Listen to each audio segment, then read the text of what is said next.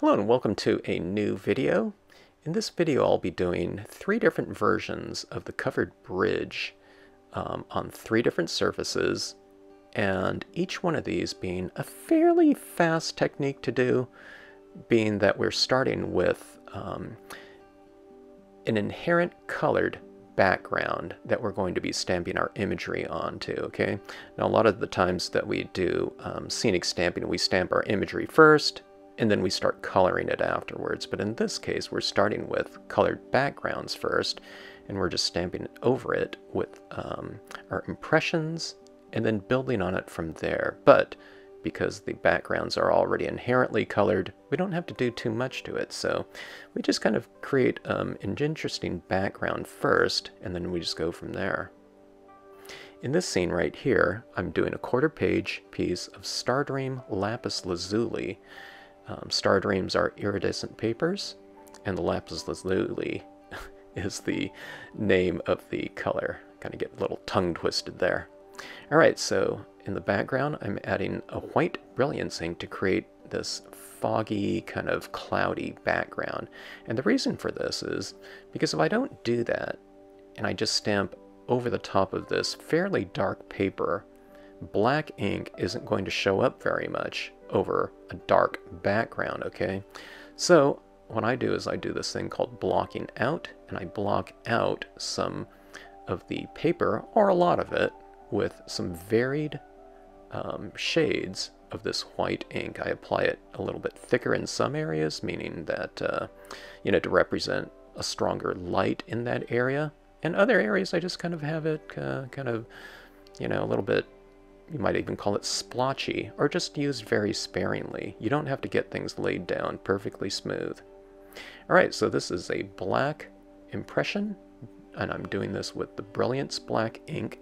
Now if you're doing this on something like a non-coated dark cardstock or something like that, you don't have to use the Brilliance inks. The Brilliance inks work great on kind of coated papers that are slightly less um, porous so that they dry or they can be heat set on this surface very quickly, okay? Filling in with some additional sedge filler right here that comes in that same stamp set.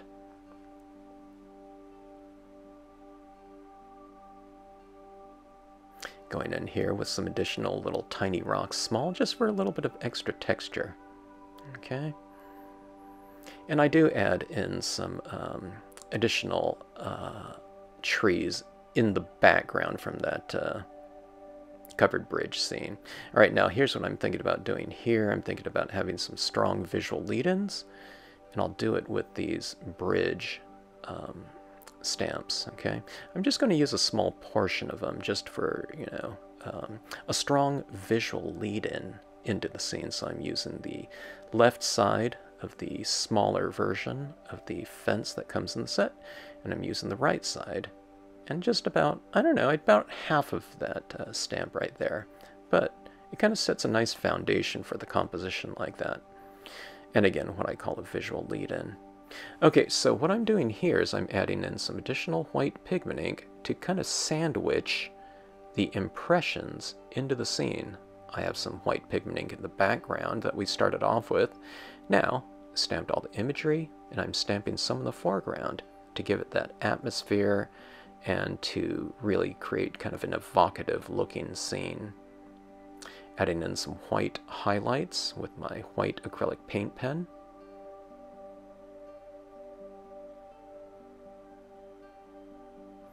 Adding in some white impressions with that same Tiny Rock Small, but doing it in white. Kind of a yin-yang type of texture on that, uh, um, on that dirt road some highlights on tops of my clouds.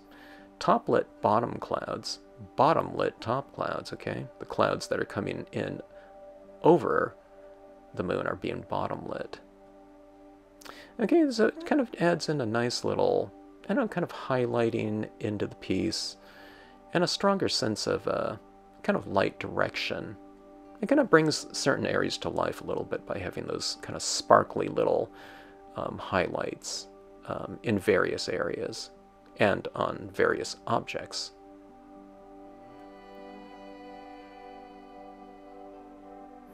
Okay, and the viewers of this um, card called it Frosty Blue Morning. Okay, now in this scene right here, I'm going to test out a, I'm guessing this is a 20 year old big and juicy rainbow pad. Now I figured the colors are probably going to be merged by now, but to what extent, I didn't know. I just opened this one for the first time, and yeah, the colors are a little bit muddy. There's not a lot of variation in it, so I'll show you what I do with this um, foundation.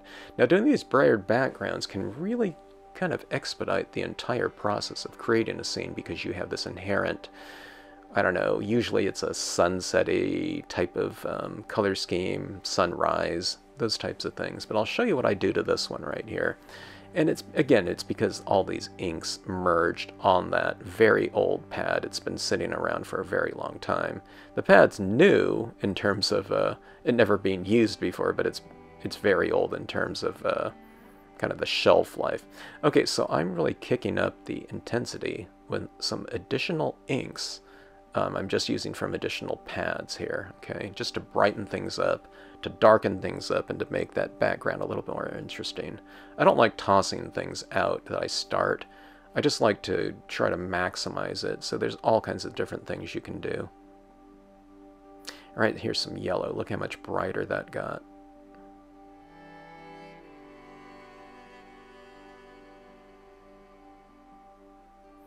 Okay, and that top part's looking a little anemic now that the bottom portion is just so bright, so I'll add in some extra tones in there.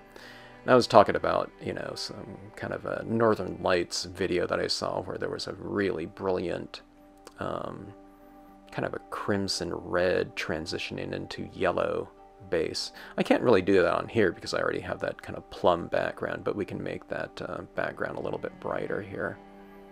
If you haven't done brayering before, it's really fun. Just kind of keep moving it. Lift and tap, lift and roll, you know, as they say.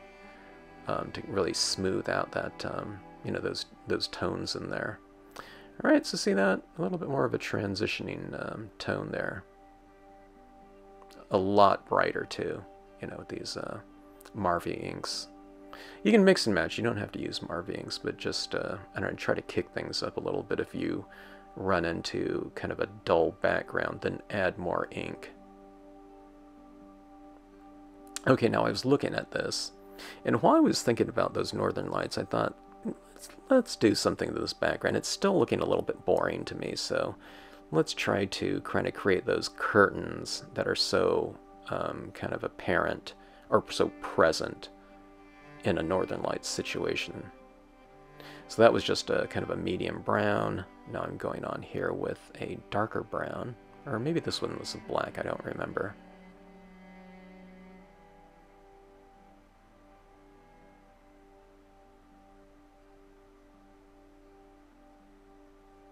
You just kind of keep working it. Um, if it's not, okay, now this one's the black right here.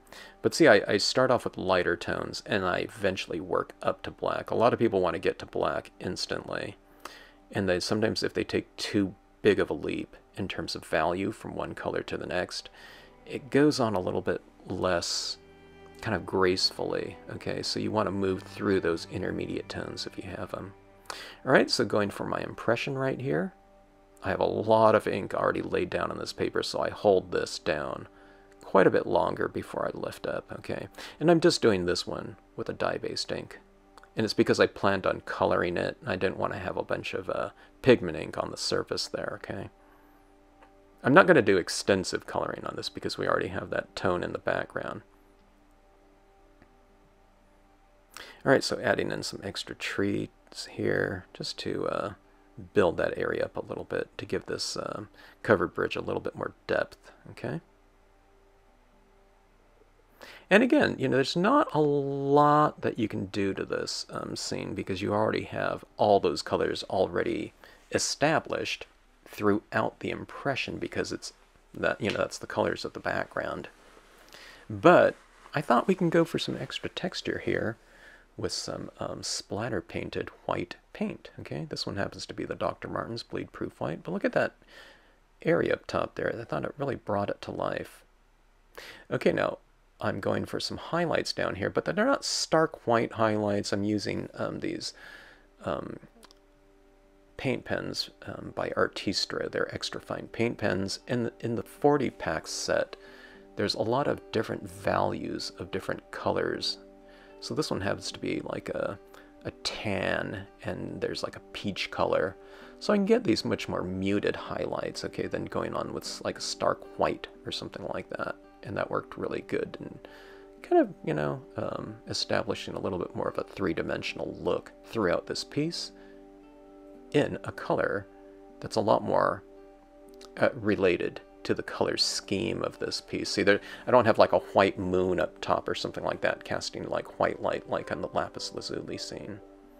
Okay, let's give this scene a little bit more depth. So I'm stamping these branches. I, I thought this could use a little bit more depth and texture and just visual interest by stamping out these images in the VersaFine Clair and then coating it with extra fine clear embossing powder and we'll emboss these foreground images, the images up top and the images down below. Okay, so it gives it a little bit more um, visual depth, it gives it more texture because you have these raised objects. And, you know, embossing is just fun. What can you, you know, what can I say?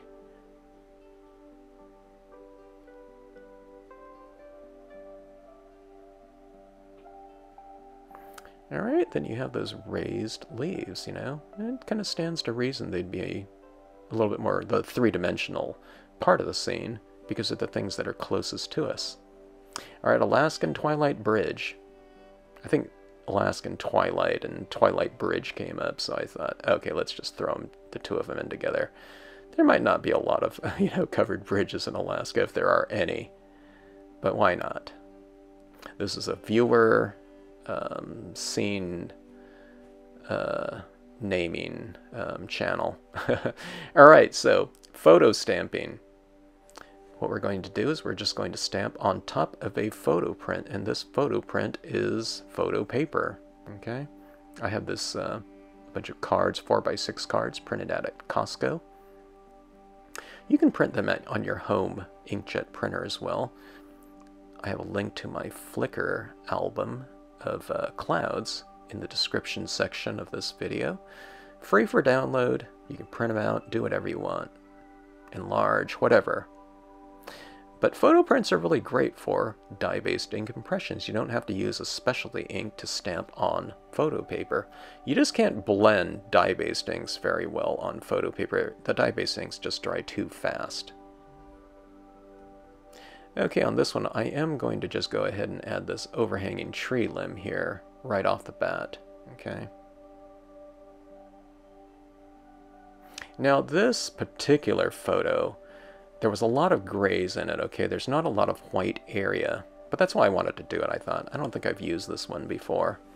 All right, but I do want to bring out some lighter areas in this um, card, mainly the top of that uh, covered bridge, so I'll show you what I do um, to remedy that um, later on in the creation of this scene.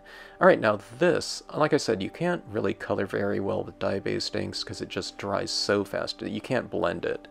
But alcohol inks work fantastically on photo paper. You can color, you can color lift, you can blend, you can, if you lay a color down and you don't like it, you can go with your blender pen and kind of take it right out of there.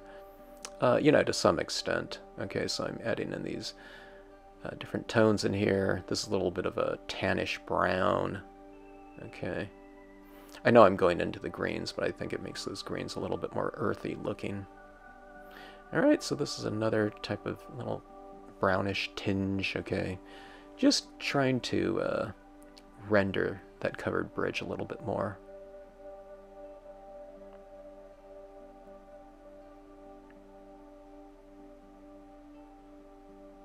And I'm not a great, you know, practitioner of uh, alcohol inks at all. I don't use them that often to do a lot of extensive blending. So it tends to look a little bit, I don't know, remedial, let's say. A little bit splotchy and spotty. Okay, this is what brings everything together, though, the white pigment ink, okay? So I'm adding some of that up into the sky, getting a little bit of that white pigment ink looking texture up there and light, okay? Because I'm going to have a lot of that white pigment ink down below. So I'm creating a situation where, you know, that same type of texture is right at that light source, okay? All right, so going down here, and I didn't lay down any blocking out or something like that, like on the lapis lazuli, but I am kind of sandwiching that image in between these different kind of mistier elements. The cloudy misty element was inherently in the photograph itself because it was a photograph of clouds. So in a way, you're kind of bringing a cloud to the front of this image as well in the form of, you know, like a, a suspended moisture in the uh, air being illuminated, you know, thus being mist. Okay, so here's what I do to remedy my dark rooftop. Okay, I like to have it look top lit, so I'm applying some white pigment ink like that, and there we have a top lit covered bridge. So now that bridge looks a lot more three-dimensional that way because it is lit differently, okay? Now this scene to me, I really like that sky up there, but and it didn't occur to me at this point in the uh, in the creation of this scene, but when I kind of held it out, um, I figured out what to do later on, and you'll see what I do with that.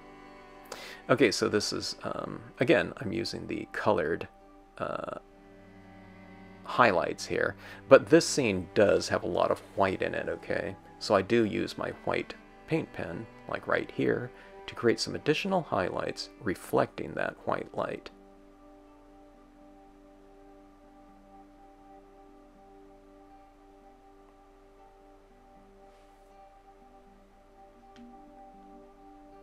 So even that little tiny bit on that rooftop there, it kind of really uh, makes the point of that roof, um, I don't know, kind of stand out a little bit. Now there I added a little bit too much white pigment ink, so I just wiped it off, okay? Alright, so I thought I was done with that one, but then, I don't know, I looked at it and I thought, oh, that, that card right there is just, if there is ever um, a photo that can utilize some light beams in it, it would be this one. Okay, here's what we do. We're going to do a very light application of this white pigment ink.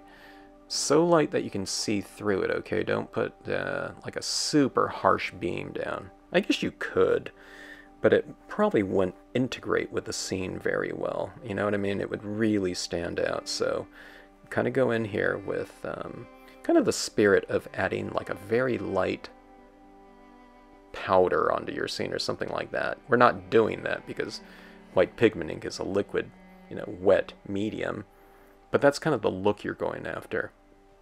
Just very lightly applied, okay? I mean, you can add a heavier coating of it, you know, if that's the look you want, but it's always better to kind of build up to it. So I'm tapping on here with a very dry cotton ball. Okay, I have white ink in it, but it's very dry on there. Now look what I do on this one. On this beam right here, I kind of go behind that tree, and, uh, you know, it just gives that beam a little bit more three-dimensional, I don't know, a three-dimensional appearance, okay? This beam right here is going to go behind those trees in the background. And they say you should compose in odd numbers, so I'll add one more beam to make it five.